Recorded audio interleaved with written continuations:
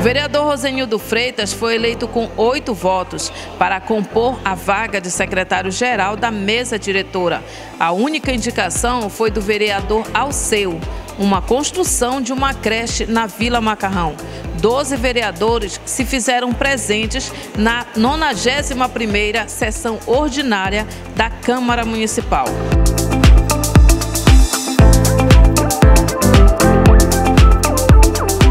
Bem, o primeiro passo é o vereador fazer o pedido, fazer, o, fazer a indicação na Câmara. O segundo passo é a Câmara aprovar.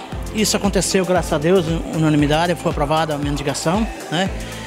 E eu creio que em pequeno é, espaço de tempo, a Prefeitura e a Secretaria de, de Obras irão construir essa creche, porque Vila Macarrão é uma demanda, tem uma demanda muito grande de crianças, demanda muito grande de mães separadas do marido, mães solteiras.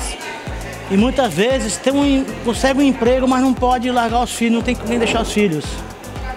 Aí, como diz aquela história, fica entre a cruz e a espada. Se ficar em casa, cuidar dos filhos, acaba passando necessidade. Né? Se deixar os filhos com alguém para ir trabalhar, os filhos acabam passando mal. E nós sabemos que as creches do nosso município tratam muito bem das crianças, né? São muito bem cuidadas. E é por isso que pedi uma creche lá para a Vila Macarrão.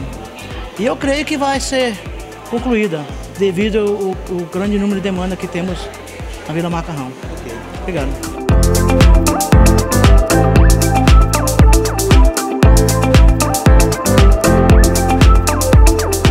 Sou 2020, né?